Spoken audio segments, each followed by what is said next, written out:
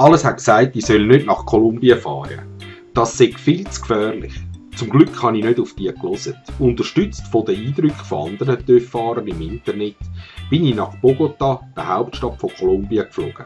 Die Stationen in Kolumbien sind Bogota, Armenia, Cali und Pasto. Eindrücklich auf der Fahrt sind ebenfalls die Anden auch. Gewesen.